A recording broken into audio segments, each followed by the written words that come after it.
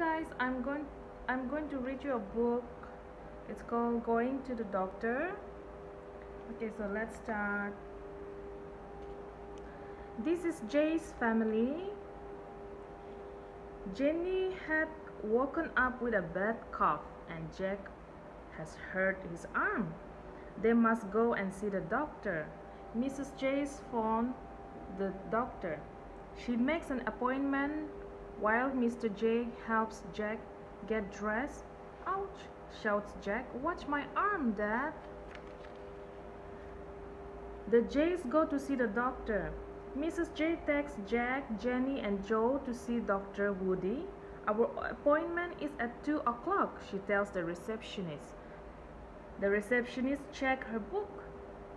And then she said, Yes, it's for Jack and Jenny, isn't it?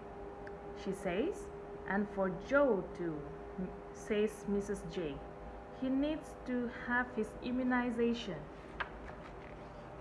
The Jays sit in the waiting room.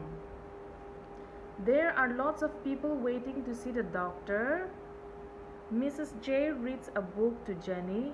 Jack and Joe want to play. Now it is the Jay's turn. Dr. Woody calls their name who shall I see first? She says. Me, says Jack, holding out his arms. Dr. Woody examines Jack.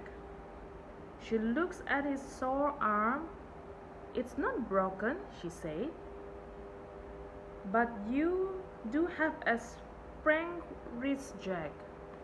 Dr. Woody puts Jack's arm in a sling. Just wear this for a few days, Dr. Woody tells him. It will feel better soon. Dr. Woody checks Jenny.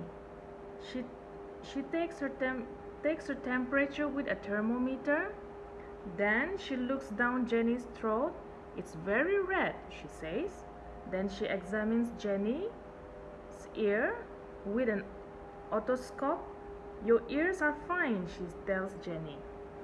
Dr. Woody listens to Jenny's breathing with a stethoscope. Breathe in and out deeply, she says. She feels Jenny's neck to see if her glands are swollen. You have a slight chest infection, she says. Jenny needs some medication. Dr. Woody prints a prescription for Jenny from her computer. Then she sits down at her desk and signs in. Now it is Joe's turn.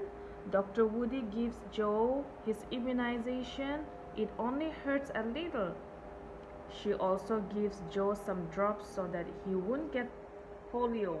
Then she says goodbye to Jays.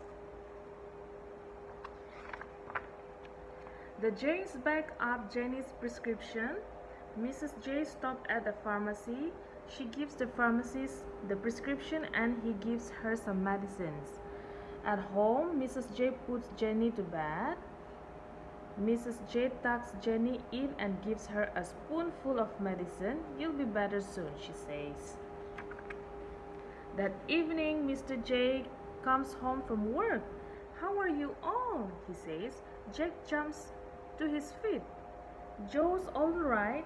And Jenny's in bed, he says, but look at my sling. The end.